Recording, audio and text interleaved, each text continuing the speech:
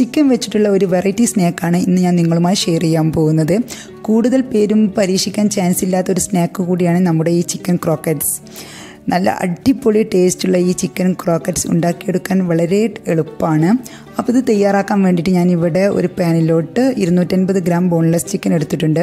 ഇതിലോട്ട് ആവശ്യമുള്ള ഉപ്പും കുരുമുളക് പൊടിയും ചേർത്തിട്ട് നന്നായിട്ടൊന്ന് മിക്സ് ചെയ്തതിന് ശേഷം നമുക്ക് ഈ സെയിം പാനിൽ തന്നെ ഇത് കുക്ക് ചെയ്തെടുക്കാം. ഇതിൽ വെള്ളമോ ഓയിലോ ചേർക്കരുത്.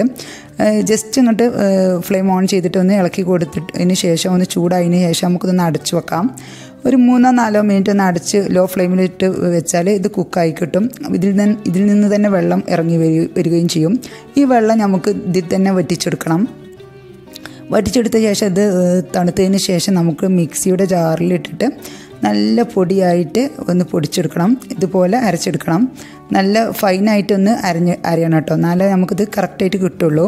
ഇനി നമുക്ക് ഇത് തയ്യാറാക്കാൻ തുടങ്ങാം. ഇതിന് വേണ്ടിയിട്ട് ഞാൻ ആ സെയിം പാൻ തന്നെ വെച്ചിട്ടുണ്ട്. ഇതിലോട്ട് ഒലിവ് ഓയിൽ ഒഴിച്ചെടുക്കുന്നുണ്ട് രണ്ട് ടേബിൾ സ്പൂൺ ഇനിയിപ്പോൾ ഓയിൽ ഒലിവ് ഓയിൽ ഇല്ലെങ്കിൽ ബട്ടറോ സൺഫ്ലവർ ഓയിലോ നിങ്ങൾക്ക് യൂസ് ചെയ്യാം. ഇനി ഞാൻ ഇതിലോട്ട് രണ്ട് സവാള പൊടിയായി കട്ട് ചെയ്ത് ഇട്ട് കൊടുക്കുന്നുണ്ട്. ഇതിലോട്ട് ആവശ്യത്തിനുള്ള ഉപ്പും കൂടി ചേർത്തിട്ട് സവാള നന്നായിട്ടൊന്ന് വഴറ്റിയെടുക്കുക. ഒരു ഗോൾഡൻ ബ്രൗൺ കളർ ആവുന്ന വരെ ശേഷം ഇതിലോട്ട് ഒന്നര ടേബിൾ സ്പൂൺ മൈദയും ഒന്നര ടേബിൾ സ്പൂൺ കോൺഫ്ലവറും കൂടി ഇട്ട് കൊടുക്കുക. അതിന് ശേഷം നന്ന നല്ല പോലെ ഒന്ന് മിക്സ് ചെയ്യാം ലോ ഫ്ലെയിമിൽ ഇട്ടിട്ട് വേണം ഒന്ന് മിക്സ് ചെയ്തെടുക്കാനും. മൈദയിലൂടെയും മൈദയുടെ ആ പച്ച മണം ഒന്ന് മാറുന്നത് വരെ ഒന്ന് വഴറ്റി കൊടുക്കാം ഒരു മുക്കാൽ മിനിറ്റ് വരെ ഒന്ന് വഴറ്റി കൊടുക്കാം അതിനുശേഷം നമുക്ക് ഇതിലോട്ട് ഒരു കപ്പ് പാലൊഴിക്കാം പാലൊഴിക്കുമ്പോഴും ഫ്ലെയിം ലോ ഫ്ലെയിമിൽ തന്നെ വെച്ചിട്ട് വേണം പാലൊഴിക്കാൻ എന്നിട്ട് നല്ല പോലെ ഒന്ന് മിക്സാക്കി കൊടുത്തതിന് ശേഷം നമുക്കിതിലോട്ട് നമ്മൾ അരച്ചെടുത്ത ചിക്കൻ ചേർത്ത് കൊടുക്കാം. ഇപ്പോൾ ഞാൻ ചിക്കൻ ചേർത്ത് കൊടുക്കുന്നുണ്ട്. ചിക്കൻ ചേർത്ത് കൊടുത്തതിന് ശേഷം നമുക്ക് ഇതിന് വേണ്ട ആവശ്യമുള്ള ഉപ്പും കൂടി ചേർത്ത് കൊടുക്കാം. ഉപ്പ് ചേർത്ത് കൊടുത്തതിന് ശേഷം ഒന്ന് നോക്കിയതിന് ശേഷം വേണം ഉപ്പ് ചേർത്ത് കൊടുക്കാൻ അതിനനുസരിച്ച് ചേർത്ത് കൊടുക്കാം. പിന്നെ അതുപോലെ തന്നെ ഒരു ടേബിൾ സ്പൂൺ ലെമൺ ജ്യൂസും അതുപോലെ തന്നെ നമുക്ക് ഈ സ്പൈസസ് ആണ് ചേർത്ത് കൊടുക്കേണ്ടത്. ഇത് ഹെർബ്സ് ആണ് ചേർത്ത് കൊടുക്കുന്നത് സ്പൈസസ് അല്ല. പാർസി ലീവ്സും ബേസിൽ ലീവ്സും ഒറിഗാനയും ഒരു കാൽ ടീസ്പൂൺ വീതം ചേർത്ത് കൊടുക്കുക. ഇത് വേണമെങ്കിൽ നിങ്ങൾക്ക് സ്കിപ്പ് ചെയ്യാം.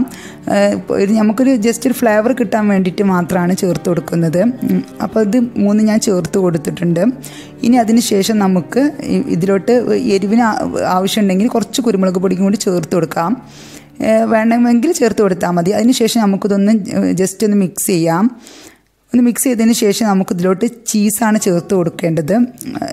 ഞാൻ ചെഡർ ചീസാണ് ചേർത്ത് കൊടുക്കുന്നത്. വേണമെങ്കിൽ നിങ്ങൾക്ക് മോസറല്ല ചീസും ചീസും ചേർത്ത് കൊടുക്കാം. ഏതാ ഇഷ്ടമുള്ളത് ചേർത്ത് കൊടുത്താൽ മതി. അതിനുശേഷം ചീസ് ചേർത്ത് കൊടുത്തതിന് ശേഷം നമുക്ക് നല്ലപോലെ ഒന്ന് മിക്സ് ചെയ്ത് കൊടുക്കാം. ചീസും എല്ലാ ഭാഗത്തും എത്തുന്ന രീതിയിൽ. അതുപോലെ തന്നെ മല്ലിയിലയും കൂടി ചേർത്ത് കൊടുത്തിട്ട് നമുക്ക് ഒന്നും കൂടി മിക്സ് ചെയ്ത് കൊടുക്കാം. നല്ല പോലെ ഒന്ന് മിക്സ് ചെയ്യണം കേട്ടോ. ഇനി ഒരു മൂന്നോ നാലോ മിനിറ്റ് വെച്ചിട്ട് ലോ ഫ്ലെയിമിൽ വെച്ചിട്ട് നല്ല പോലെ ഇതുപോലെ മിക്സ് ചെയ്തെടുക്കണം. ഞാനൊരു മൂന്ന് മിനിറ്റ് വെച്ചിട്ട് മിക്സ് ചെയ്തിട്ടുണ്ടായിരുന്നു. നല്ല പോലെ പാനിൽ നിന്ന് വിട്ട് വരുന്ന രീതിയിൽ നല്ല പോലെ ഒന്ന് മിക്സ് ചെയ്തെടുക്കുക അതുപോലെ തന്നെ. അതിനുശേഷം നമുക്കിതൊന്ന് തണുക്കാനായിട്ട് മാറ്റി വെക്കണം. തണുത്തതിന് ശേഷമാണ് നമുക്ക് ഇത് ഷേപ്പ് ചെയ്തെടുക്കാൻ പറ്റുള്ളൂ. ഇപ്പോൾ ഇത് തണുത്തിട്ടുണ്ട്. അപ്പോൾ ഞാനിത് ഓരോരോ ബോളുകൾ എടുത്തിട്ട് ഈ ഒരു മോൾഡിൽ ഇട്ടിട്ട് ഞാൻ ഷേപ്പ് ചെയ്തെടുക്കുകയാണ്. നിങ്ങൾക്ക് ഇഷ്ടമുള്ള ഷേപ്പിൽ ഇത് ഷേപ്പ് ചെയ്തെടുക്കാം. ഞാനിപ്പോൾ ഇത് ഹാർട്ടിന്റെ ഷേപ്പിലാണ് എടുക്കുന്നത്. ഇനി നിങ്ങൾക്കിപ്പോൾ കട്ലറ്റിന്റെ ഷേപ്പിൽ റൗണ്ട് ഷേപ്പിലോ അല്ലെങ്കിൽ ഓവൽ ഷേപ്പിലോ ഇഷ്ടമുള്ള ഷേപ്പിൽ വെച്ചിട്ട് ഇത് എടുക്കാൻ പറ്റും. ഇത് അങ്ങനെ പൊട്ടിപ്പോകുന്നില്ല കട്ലറ്റിനെ പോലൊന്നും. നല്ല ഒരു ടെമ്പറായിരിക്കും കാരണം നമ്മൾ മൈദയും കോൺഫ്ലവറൊക്കെ ഇട്ട് കൊടുക്കുന്നത് കൊണ്ട് ഷേപ്പ് ചെയ്തെടുക്കാൻ വളരെ ഈസിയാണ് ഇനി അത് നമുക്ക് മൈദപ്പൊടിയിലൊന്ന് ഡിപ്പ് ചെയ്തതിന് ശേഷം മുട്ട മുട്ടയിൽ മുക്കിയിട്ട് ബ്രെഡ് പൊടിയിലൊന്ന് ഡിപ്പ് ചെയ്തെടുക്കാം. ആദ്യം ഒന്ന് മൈദപ്പൊടിയിൽ ഡിപ്പ് ചെയ്തെടുക്കണം. അതിന് ശേഷം നമുക്ക് മുട്ടയിൽ മുക്കിയിട്ട് ബ്രെഡ് പൊടിയിൽ ഡിപ്പ് ചെയ്തതിന് ശേഷം നമുക്ക് മീഡിയം ഫ്ലെയിമിൽ വെച്ചിട്ട് ഇതൊന്ന് ഫ്രൈ ചെയ്തെടുക്കാം ഓയിൽ ഒഴിച്ചിട്ട്. ചൂടായതിന് ശേഷം മീഡിയം ഫ്ലെയിമിൽ വെച്ചിട്ട് വേണം ഇത് ഫ്രൈ ചെയ്തെടുക്കാൻ. അല്ലെങ്കിൽ ഇത് ഓവർ ഡാർക്കായി പോവും. നമുക്കൊരു ഗോൾഡൻ ബ്രൗൺ കളർ ആവുന്നത് വരെ ഇത് ഫ്രൈ ചെയ്തെടുക്കാം. ഒരു ഭാഗം കുക്കാവുമ്പോൾ നമുക്ക് തിരിച്ചിടാം. ഇത് പൊട്ടിപ്പോകുന്നില്ല പെട്ടെന്ന്. നല്ല ഞാൻ പറഞ്ഞല്ലോ നല്ലൊരു ടെമ്പറായിരിക്കും നമുക്ക് ഷേപ്പ് ചെയ്തെടുക്കാനൊക്കെ വളരെ ഈസിയാണ് കഴിക്കാനും നല്ല ടേസ്റ്റാണ് കുട്ടികൾക്കൊക്കെ നല്ല ഇഷ്ടമാവും നല്ലൊരു വെറൈറ്റി സ്നാക്കാണ് അപ്പോൾ എല്ലാവരും ഇതുപോലെ ഒന്ന് തയ്യാറാക്കി നോക്കുക. പെട്ടെന്ന് തന്നെ നമുക്കിത് ഫ്രൈ ചെയ്തെടുക്കാൻ പറ്റും. ഇപ്പോൾ ഇത് രണ്ട് ഭാഗമായിട്ടുണ്ട് ഞാൻ ഇപ്പോൾ ഇത് പാനിൽ നിന്ന് മാറ്റി സെർവ് ചെയ്തിട്ടുണ്ട്. അപ്പോൾ ഇതാണ് നമ്മുടെ ചിക്കൻ ക്രോക്കറ്റ്സ് അപ്പോൾ എല്ലാവരും തയ്യാറാക്കി നോക്കിയിട്ട് ഫീഡ്ബാക്കൊക്കെ അറിയിക്കുക. ഇഷ്ടമായാലും ഫ്രണ്ട്സിനും ഫാമിലിക്കും ഒക്കെ ഒന്ന് ഷെയർ ചെയ്യാം. ഇതുവരേക്കും എന്റെ ചാനൽ സബ്സ്ക്രൈബ് ചെയ്യാത്തവർ സബ്സ്ക്രൈബ് ചെയ്ത് സപ്പോർട്ട് ചെയ്യുക എല്ലാവർക്കും എന്റെ നന്ദി.